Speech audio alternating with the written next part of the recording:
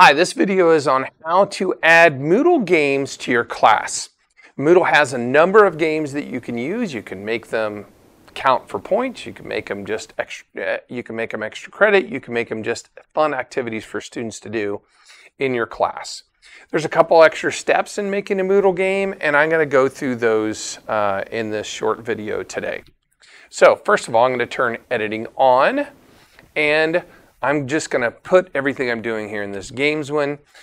If I go to add an activity or resource, you will not probably see these games. You can see there's one, two, three, four, five, six, seven, eight different games that are part of a Moodle mod that most teachers don't see, but all you have to do is ask me and I can make it so you can. We just have them off for the default so that uh, it doesn't kind of inundate because you can see there's a lot more activities here probably than you know about, just so teachers don't see them all when they first come in. Now, most of these games, not all of them, but almost all of them, use what's called a glossary in order to work. Glossary being a glossary of terms that you have made in your course.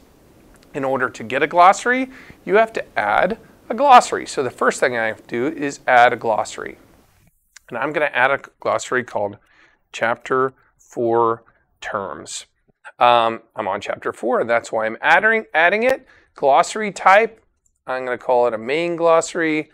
It asks whether you want it to be global or not. There's some other drop downs here that the defaults are set, that they're automatically approved. You can always delete them. You can't have duplicates. Students can't edit them later. You have to be the one that edits them. Uh, oh, there's the no duplicates, uh, no comments.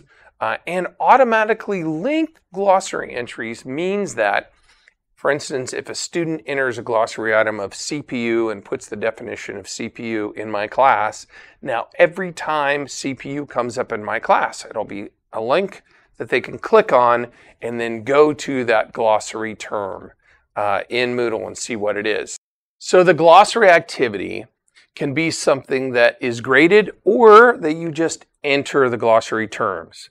Um, and you can go through and look at the different settings there, how it appears, simple dictionary style. I'm going to leave it all with the defaults and hit save and display.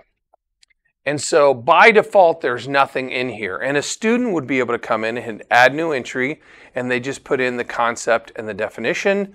They could enter keywords. They could add pictures if they want to to supplement it as well.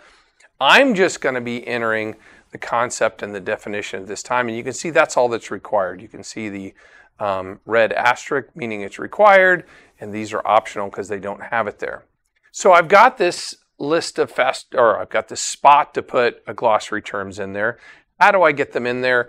I can go over here and I can import glossary entries right here. And it says file to import. Uh, we need to import an XML file. Oh my gosh, how do I do that? That's really hard. I'm not going to do it the way it says uh, because I can't create that. Instead, I'm going to use, and this link will be in the bottom of your Moodle, uh, I'm going to use this uh, shortcut right here. And what it says is that basically you make a spreadsheet with your, your concepts and definitions, you drop them in here, and it will create an XML down here. I'm going to go ahead and delete that so you can see what I'm talking about. So I've got an Excel spreadsheet that has a bunch of terms and a bunch of definitions from this chapter. All you have to do is copy that. So I'm going to highlight that and hit Control C to copy it. I'm going to paste it in here. And then down here, I hit Convert to XML, and it makes this gobbledygook down here that we need to be able to import into Moodle. So now I take this copy all this. I hit Control A and then Control C to copy it. And I'm going to post it or paste it into a notepad file. So I open up Notepad and I paste that in there. And this is what it looks like. And it's kind of a mess. We don't need, we don't really care. I'm going to go and save this file um, onto my computer. So I'm going to hit File, Save As. And um, you want to change this where it says text documents to start out star.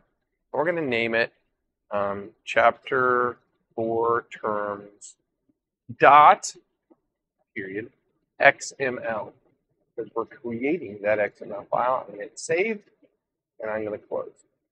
Now I'm going to go back over here to these terms. This is drag and drop that file right there. So I'm going to open up that file I just did. There, you can see it right there on my recent files. I'm going to take, oh, see if I can get that back so I can see it. There we go. I'm going to drag that right into this spot. It's going to do it into the current glossary, and I'm going to say submit. Uh, and I say continue. And now all those terms are in this glossary. I can hit all. And we set it up as simple dictionary. So it's in alphabetical order. And those are all the terms that I just imported into my glossary. That's step number one. Have to have a glossary for most of these games. Done. Now I can add. I'm going to add a, a so activity and um, and even say where the grade's going to be, philosophy we're. Also, like you say,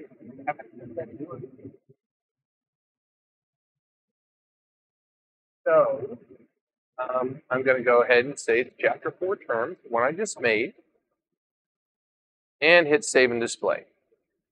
And now it's done. And if they come into it, it says attempt grade, they're going to see all of the terms down here and the crossword puzzle up there that they can go and click in. Oh, I should show you that I could also have said, um, where's this setup? Crossword options right here. Instead of at the bottom, I could say make them on the right. And now if they go into the game, they're beside them. I think that makes it a little bit easier on most computers. So that's it for a crossword puzzle.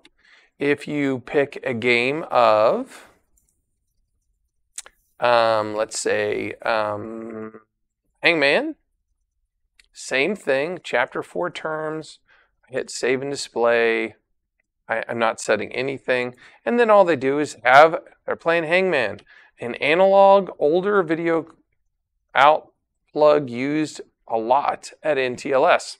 Hmm, uh, let's see, is it DVI? Oops, nope, I just got ahead there. Is it VGA? Up, uh, and you can see how it works there. Congratulations, end of game, and I got a 94%, and you can have this be equal, be bonus points, you can have it be extra credit for a specific assignment, you can just have it an activity that is graded that they've got to go through and play so many times. So that's Hangman. Oops. Oh, I'm supposed to be hitting add a resource. And we'll go and add another activity. Um, the millionaire is a different one. Instead of being, this one either has questions or a quiz, it, I can say I want to use questions from I'm going to use all the chapter 4 questions. So there's 64 questions that they could get randomly for a millionaire. I can give them a grade. I could say, hey, it's worth 10 points and it's going to go into the fight category. That's my test category. And I can make it work bonus points so that they actually can play a game and get bonus points for their class. Save and display. And if they attempt the thing, you can see it works up there in how much they win. They've got the 50 50, phone a friend, and um, help from other people, and this is how they finish the game and quit. So, at the bottom of the motherboard, there's a series of embedded wires that make up the bus. What is carried on the bus? Um, let's see. Mm, electrical power, data signals. I don't know. Let's let's go. Let's ask some friends. Let's see what they say. 50 or let's see. 48% said C, electrical power, data signals, memory addresses, and data. Boy, I hope they're right. And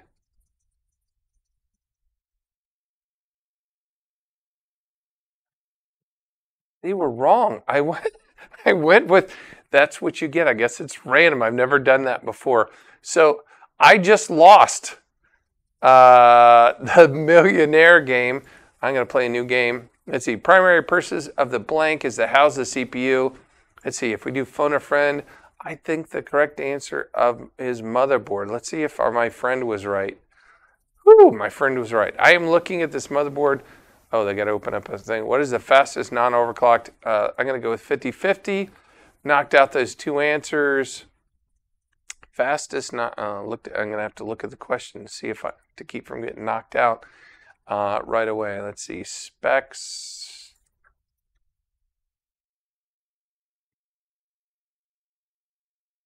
And memory, let's see, the fastest non-overclocked is 2666. And whoo, made it up. So you get the idea. Um, uh, this is terrible. This so I didn't realize that it would give you the wrong answer. I guess probably one of those two is right. Um, I'm going to go with this one since I know it's not that one. Let's go with this and see. Your answer is wrong. The right answer is D. Wow, the the ask the audience one is not the one to go with in this game. So you get the idea. That's millionaire. And let's see what other games we can add here. And that one again used either a quiz or a question category right out of your out of your class. Um, done Hangman, Millionaire, Snakes and Ladders is just the Snakes and Ladders game. So if I play that one, basically the way it works is you get a board, you roll the dice. If you put in the right answer, you go that far. The newest Intel socket for PCs is an LGA oops, 1700. Great answers. I'll get to move two. And look, I slid up there. Yay.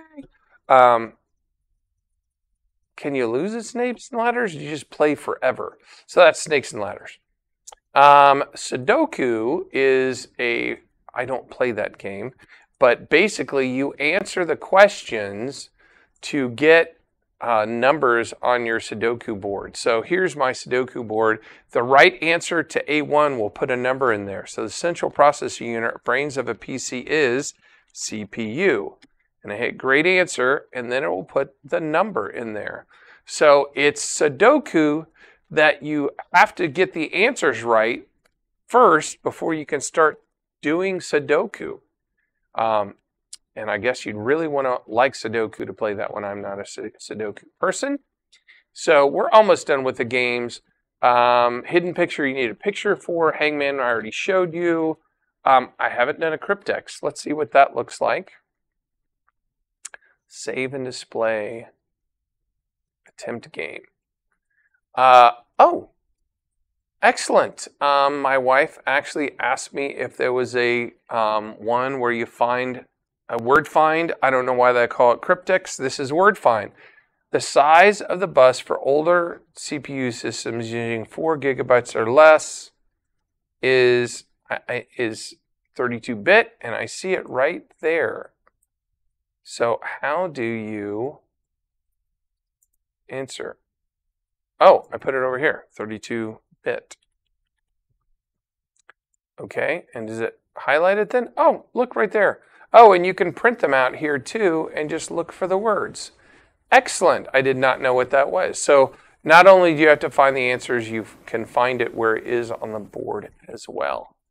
Well, those are the ones I use. Again, you have to make a um, glossary. You could make your students do that for you, or you can do the glossary yourself and import it like I just did. And then you can use that glossary, or in the case of Millionaire, um, your question bank to have an activity or game for your students. And that's it for Moodle Games.